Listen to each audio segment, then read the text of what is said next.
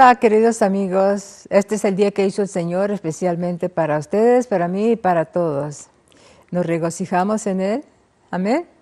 Esta es la Cruz Televisión. Les doy, yo soy la pastora Aida Révalo y les doy la bienvenida en este día. Gracias por ver los programas de en cualquier país que usted los, está, los esté viendo. Les mandamos muchas bendiciones desde este set. Y gracias por ver los programas, gracias por darnos like, los likes que nos gusta. Amén. Y seguiremos llevando este rayo de luz para sus vidas, que es la palabra de Dios. Amén. Y ahora vamos a hablar, ahora vamos a hablar de, vamos a hablar de la palabra de Dios. La palabra de Dios que es poderosa, amén. La palabra de Dios es vida es, y, es, y está viva, amén la palabra de Dios. Amén. Vamos a ver en um, Josué capítulo 1, versículo 8. Dice, nunca se apartará de tu boca este libro de la ley, sino que de día y de noche meditarás en él para que guardes y hagas conforme a todo lo que está en esta escrito, en este escrito, porque entonces tendrás prosperidad. Dios prosperará tu camino y todo te saldrá bien. Todo te saldrá bien. Amén. Y eso es lo que queremos que todo nos salga bien. Todos queremos que todas las cosas que hacemos nos salgan bien. Pero lo que tenemos que hacer primero es encomendar a Dios todas las cosas que hacemos para que Él esté en todo. Cuando Dios está en las cosas que nosotros hacemos, él va a hacer que todos caigan en el lugar donde tiene que estar. Él nos va a bendecir y Él nos va a enseñar cómo hacer, cómo hacer esas cosas a través de su Santo Espíritu. Tenemos que confiar en Él y poner nuestra fe en que Dios está trabajando y Dios está en nuestro favor y Él va a hacer que todo lo que nosotros pidamos se haga. Porque Él dice, si que nosotros venimos a pedir algo a nuestro Señor y lo hacemos con todo nuestro corazón, Él nos oye, Él nos escucha. Amén. Nos escucha y Él contesta nuestras oraciones. Amén. Segundo de Timoteo, capítulo 16, versículo 17 dice, y toda escritura es inspirada por Dios y es útil, para enseñar y para redarguir, y para corregir y para instruir en justicia. Amén. En justicia para, para restaurar. Amén. La palabra de Dios es buena para construir, para renovar. La palabra de Dios tiene poder. Y cuando Dios, Dios dice, cuando Él manda su palabra, la palabra va y hace lo, por lo que Él la envió. Se cumple lo que nosotros estamos pidiendo, Dios nos va a contestar porque su palabra no regresa vacía a nosotros. Y en este tiempo Dios dice que Él va a contestar nuestras peticiones más rápido, más rápido que antes. Nos está contestando rápido el Señor, amén. Y a Él sea toda la gloria y toda la honra y toda la alabanza. En el versículo 17 dice, al fin de que el hombre de Dios sea perfecto, enteramente preparado para toda buena obra. El hombre tiene que estar preparado para toda buena obra. Mm. Llevando la palabra de Dios, hay un versículo que dice que es que nosotros solamente tenemos que pararnos y pedirle a Él y Él llenará nuestra boca de palabras. No necesitamos buscar palabras para hablar con Él, porque Él va a llenar nuestra boca de palabras. Él va a llenar nuestra boca. ¿Ven? En Hebreos ah, capítulo 4, versículo 12 nos dice, porque la palabra de Dios es vida, y es viva y eficaz, y más cortante que, que toda espada de dos filos, y penetra hasta, la, hasta partir el alma y el espíritu, y las coyunturas y los tuétanos y discierne los pensamientos y las intenciones de nuestro corazón. Dios, esta palabra de Dios es como una espada que entra entre el espíritu y entre el alma. ¿ve? Qué, poderosa es la palabra de Dios. Amén. Y, y, Él discierne, el Espíritu Santo discierne la palabra, discierne las intenciones de nuestro corazón. Nosotros no podemos engañar a Dios. Dios todo lo sabe, todo lo ve. Amén. Podemos escondernos y, y, pensar que estamos escondiéndonos de la presencia de Dios, pero los ojos de Dios están en todo lugar y Él lo ve todo y lo oye todo también. Como Él está ahorita aquí, está ahí donde ustedes están. Amén. Y Él ve todo y Él oye todo. No podemos engañarlo a Dios. Nunca podemos engañarlo a Él. Amén.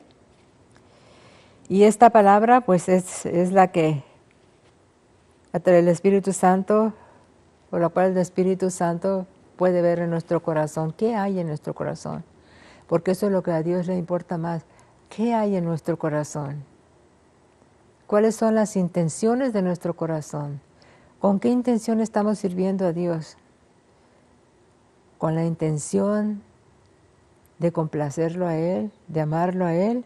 ¿O estamos sirviendo a Dios porque queremos eh, agarrar,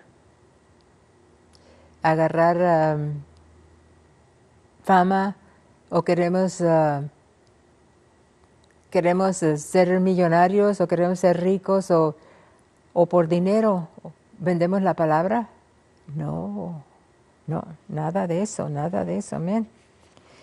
Tiene que ser nuestro corazón limpio para Dios. Dios nos da.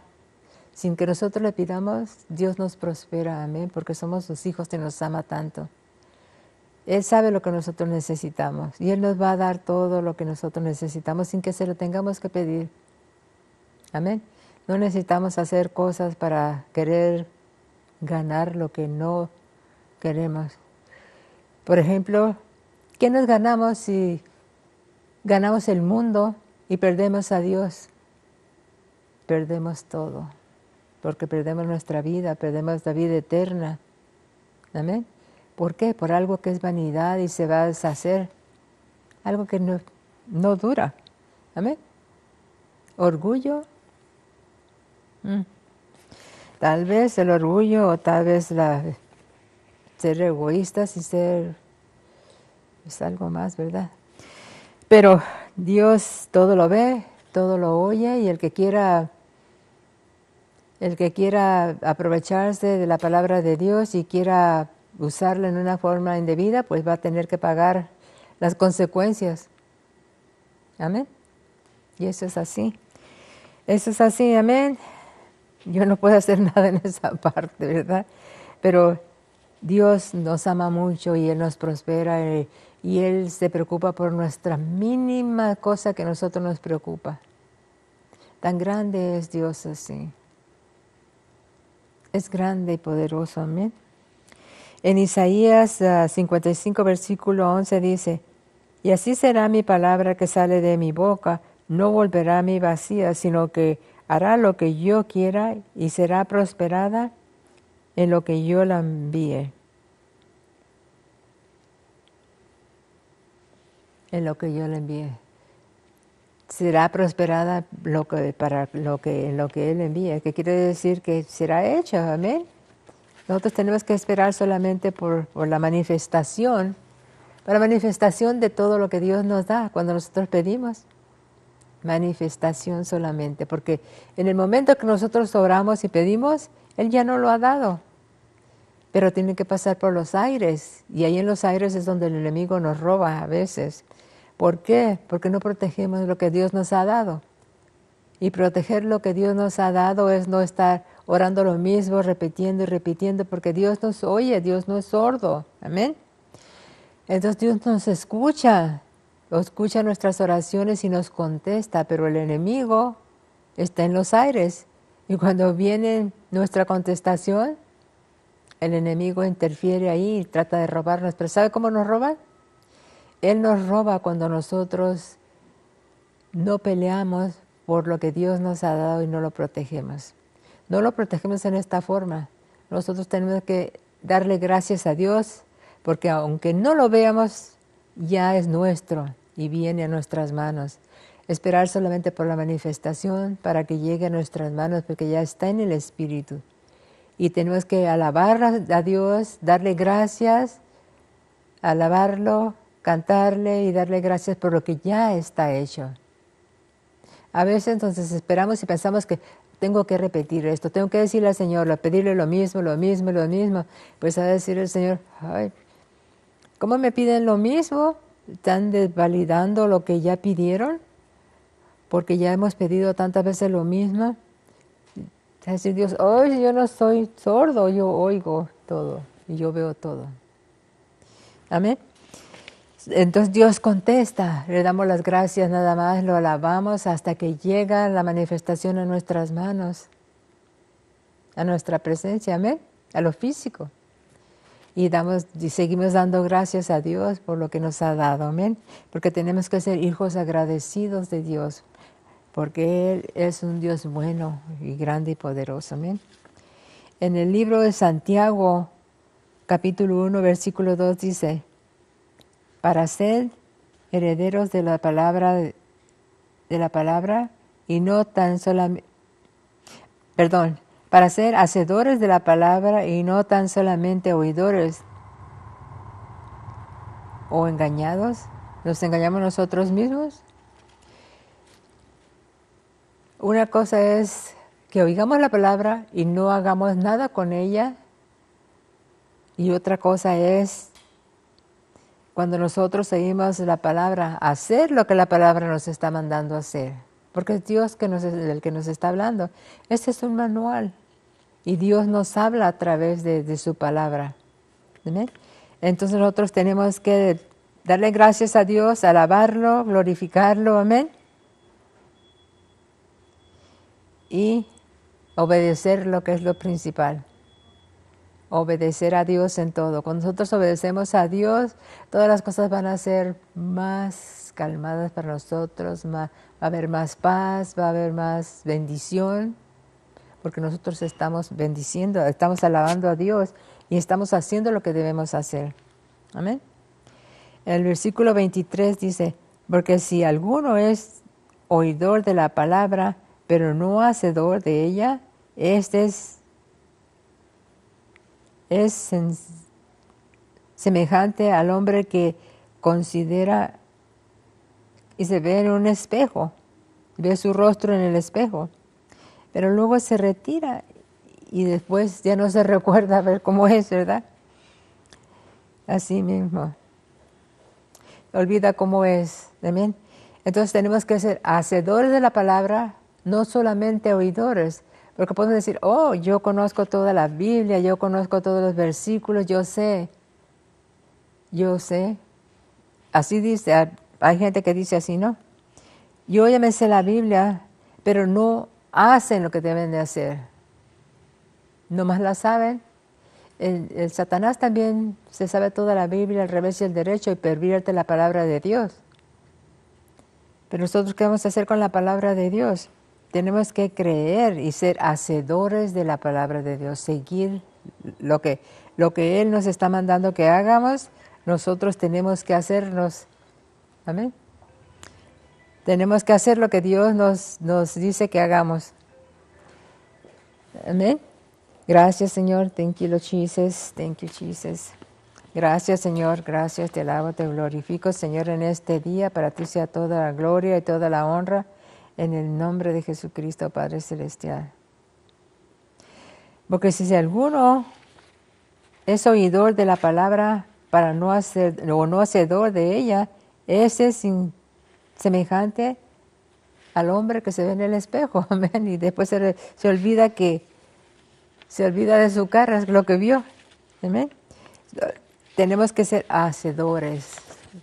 Hacedores, recuérdenlo, amén, hacedores de la palabra, hacer lo que tenemos que hacer, porque aquí están nuestras instrucciones de lo que nosotros necesitamos hacer. Seguir todas las instrucciones que Dios nos está dando. Este es nuestro manual, la palabra de Dios. tenemos que hacer todo lo que Él nos, nos está mandando hacer, la tenemos que hacer. Amén. Gloria a Dios y a su santo nombre, gloria. Amén. Dice en Mateo 24, versículo 35. Dice, el cielo y la tierra pasarán, pero mis palabras no pasarán. Amén. Si ustedes desean recibir a Jesucristo como su Señor y su Salvador en este día, ese es el tiempo perfecto. Miren, esto es una relación que hacemos con Dios, una relación personal con Él. ¿Amén? Él nos va a enseñar cómo es Él. Dios sabe cómo somos nosotros, pero nosotros no sabemos cómo es Él. Y Él nos revela a través de su Santo Espíritu todas las cosas de Dios. Nosotros vamos a aprender a saber cómo piensa Dios, cómo es Él cómo actúa Dios. Vamos a sentir su amor, vamos a sentir su presencia. Amén. Gloria a Dios. Y este, este es la palabra de Dios. Amén. Si desean recibirlo, díganle, Padre Celestial, yo creo que Jesucristo es tu Hijo y que Él vino y murió por mí en la cruz del Calvario. Y yo recibo ahora a Jesucristo como mi Señor y mi Salvador. Jesucristo, ven a mi corazón y sé mi Señor y mi Salvador. Y estas palabras cambian todo. Estas palabras, estas palabras, cuando nosotros las repetimos, en el cielo hay regocijo y los ángeles se regocijan porque una persona más ha recibido a Jesucristo. Regresa a casa. Amén. Y no todos van a regresar a casa, solamente los que escojan a Jesucristo como Señor y Salvador dicen lavados por su sangre preciosa. Voy a orar unos segunditos por ustedes, tengo unos cuantos minutitos. Voy a orar por ustedes. Padre Celestial, en el nombre de Jesucristo, toca, toca a toda persona que está recibiéndote, a todas las personas que están viendo, todos los hermanos que necesitan, Padre, de ti. Tócalos, Señor en todas las naciones, Padre Celestial. Toca a todas las personas que necesitan tu ayuda y te están clamando, clamando para el nombre de Jesucristo, Padre Celestial. En el nombre de Jesucristo, Padre, yo hablo sanidad a las personas que están enfermas ahora, Padre, restauralas, Padre Celestial, renuévalas. En el nombre precioso de Cristo Jesús, llénalas con tu Santo Espíritu, Padre Celestial. En el nombre precioso de Cristo Jesús, Padre Celestial, yo hablo por unidad en las familias, Padre Celestial. Restaura las familias que están rotas, Padre, esas relaciones entre padres y hijos y, están las familias destruidas, Padre Celestial, cada uno por su camino. Padre Celestial, restaura, Padre, en el nombre de Jesucristo te lo pedimos, te damos gracias, Señor, en el nombre de Jesucristo. Amén. Padre Celestial, gracias por todas las personas que están viendo los programas. Las bendecimos desde aquí, desde la Cruz Televisión. Que tengan una semana o que tengan una semana muy feliz, muy bendecida. En el nombre de Jesucristo, el próximo programa sale el, el miércoles próximo, en el nombre de Jesucristo. Gracias por ver los programas y por ver la Cruz Televisión. Y gracias a Dios sobre todo por todo lo que hace por nosotros. En el nombre de Jesucristo, amén.